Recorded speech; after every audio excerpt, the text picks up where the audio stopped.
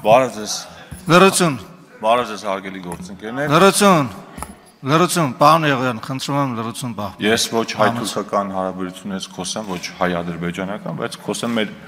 աշխատանքից ու պարոն Մանուկյան, որ ասում եք ինչու է Ռուբին Ռուբինյանը մասնակցում, հետո եկել եք օրակարգը կարդում եք, ասում եք սնանկության, չգիտեմ ինչի մասին օրենք եք ընդունում, միջդեռ սենց օրակարգեր կան։ Ուրեմն վաղը չէ մյուս օրը, գիտեք, մենք Սևծովյան պատվիրակության անդամներով մեկնում ենք Թուրքիա, Անկարա,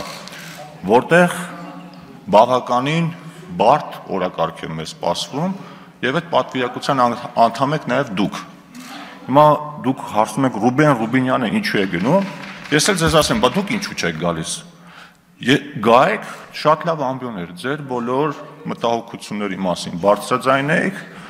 լիքը խնդիրներ կայի, օգնեք, որպեսզի մենք մեր տեսակետը տանենք առաջ։ Սա ուղիղ վերաբերում է ձեր պարտականություններին։ Խնդրում եմ, եթե առիթ կլինի խոսալու, ասեք ինչու համար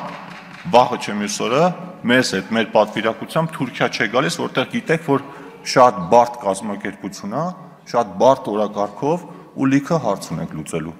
Շնորհակալություն։ Լրություն։ Լրություն խնդրում եմ հարգելի գործընկերներ, տեղից պետք չի արձագանքել։